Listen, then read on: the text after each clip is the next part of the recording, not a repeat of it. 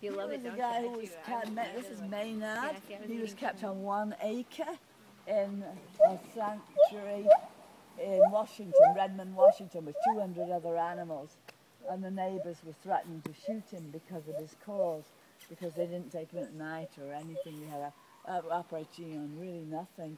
And the neighbours were going to shoot him, and then they took him to court, and then they had him up before zoning authorities. They weren't zoned for 200 animals, turned out they weren't. So it was, it was very unfortunate. But Maynard liked so uh, quite a lot of people because he was a pal. But he was See a the one that likes boy. his back scratched? Huh? Which one likes to have their back scratched? Tongue. Tongue. Be good. Anybody scratch that. Hey, how are you? This is all breakfast. You haven't, they don't eat their breakfast and greens. You're naughty.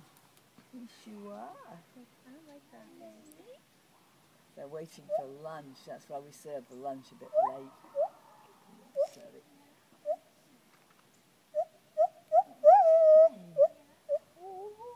Hi, Maynard.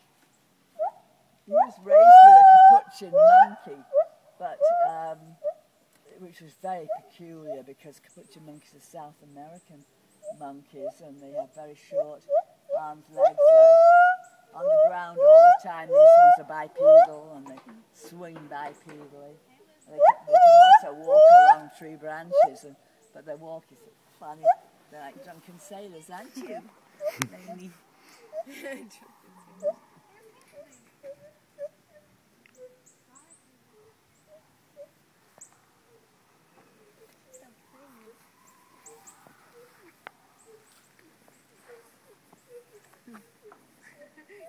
looking at you like, where are you going? Why are you Maynard, you're going the other side, sweetie.